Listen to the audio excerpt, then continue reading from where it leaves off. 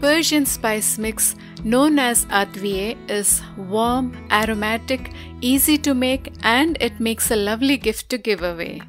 Today at the Delicious Crescent, I am going to show you how to make this homemade advieh to spice up your delicious Persian recipes. Now let's make it.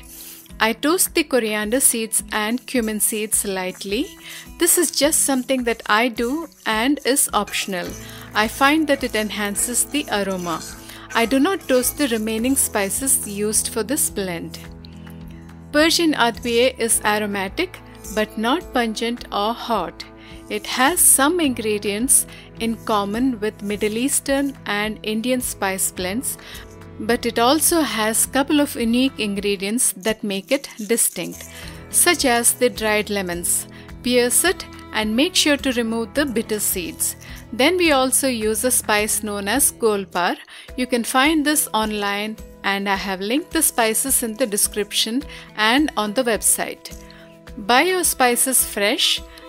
The best places to buy spices are ethnic stores or spice specialty stores. Indian and Middle Eastern stores often carry them for a much better price. This advieh is for stews and is more intense in aroma but can also work as a multi-purpose blend adjusting the quantity used in the recipe. But on the website I have other spice blends specially for rice, pickles, soups etc. They are specially tailored to suit those Persian recipes. In the bazaars of the Middle East, ground spices are layered and displayed in elaborate pyramid shapes. It is interesting to see all the different colors and experience the aromas. The buyer gets to choose his pick this way.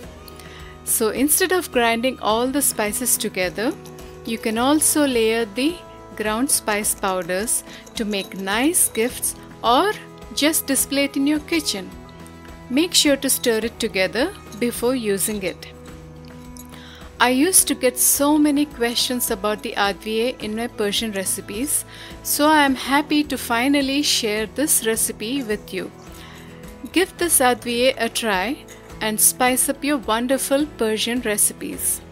Hope you enjoyed the video and let me know what you think. Thanks for watching. See you next time.